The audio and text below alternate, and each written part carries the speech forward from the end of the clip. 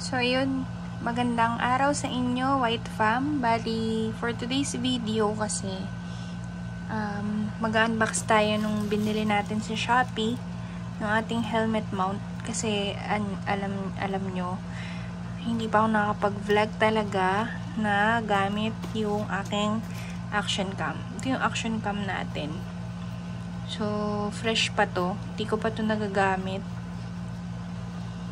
try natin dun sa helmet kasi usually puro ano lang um, mobile phone lang yung gamit ko. And then meron din tayong biniling microphone, yung external microphone. Although meron naman kasi akong ano, microphone yung ano siya eh, wireless. Parang hindi siya uubra dito sa ano sa cam natin. So try natin tong gamitin So, yun, setup muna natin sa helmet. Meron nga pala tayo ditong Evo helmet.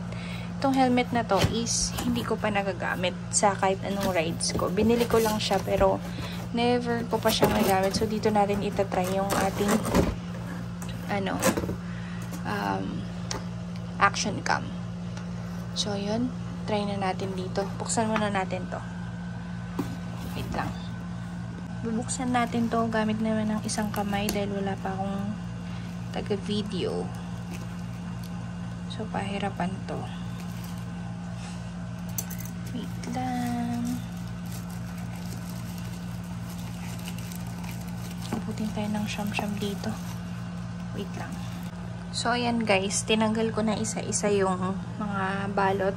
Unahin natin to. Ang bibili natin ito, yung uh, lagayan siya ng mga anik-anik organizer. Malit lang siya Kasya dito yung isang camera, tsaka yung mga, yung charger ng mga camera, pwede rin charger ng cellphone. Kasi syempre, ayoko ng kalat-kalat sa bag. Since, kapag ka big bike yung dala natin, wala tayong lagayan.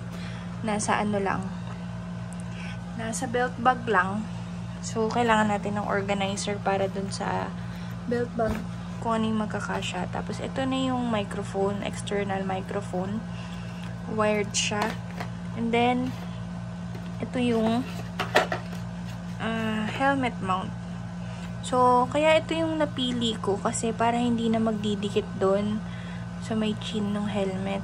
Parang maganda naman siya kasi ano eh, kapag ka nagdikit pa ako doon, sayang din naman yung helmet. At least ito, pwede natin magamit sa iba't ibang helmet na gagamitin natin kasi syempre nagpapalit din naman tayo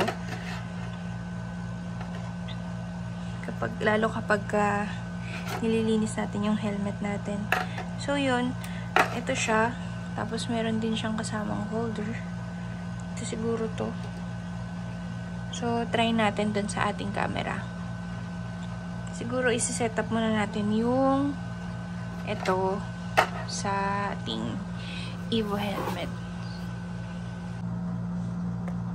So, yan. So, ito guys, yung Evo helmet natin. Bali, syempre, ito ay color white. Wala, puro white lang po yung helmet ko talaga. So, yan, bagong-bago pa talaga to. Medium size. So, try na natin ikabit dito yung mount. Naririnig nyo ba ako? Siguro ganito lang to.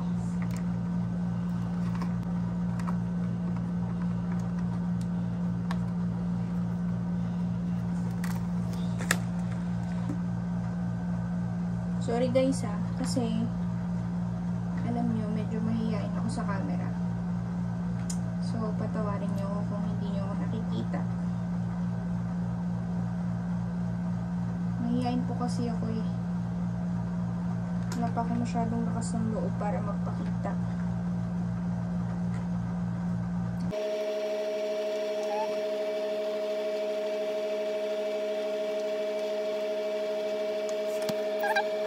So, ayan guys. Kung nakikita nyo, nakikita nyo ba? Sa loob, sorry ah, medyo madilim eh. Sa loob, dito, ito, meron siyang hinihila dito. To guys nakabit ko na siya. Okay naman. Sobrang dali lang kasi ano eh, may adjacent siya sa loob. So, parang plug and play lang naman. Madali lang po siyang ikabit kasi may pin lang siya dito, dalawa na adjust Tapos ito, rubber. Rubber po siya so hindi magagasgas yung sa helmet mo. And at the same time, parang swak na swak siya dito sa ano, sa full face ng ano, ng Evo. So, ayan, higpitan ko na lang siya. Higpitan ko na siya siguro kapag gagamitin ko na. Tinry ko lang naman. Then, try natin yung camera. Ayan na siya guys. Nakaganyan. Um, next naman natin gagawin is ikakabit natin tong wire niya paloob. So, ito na nga guys ang ating finish work.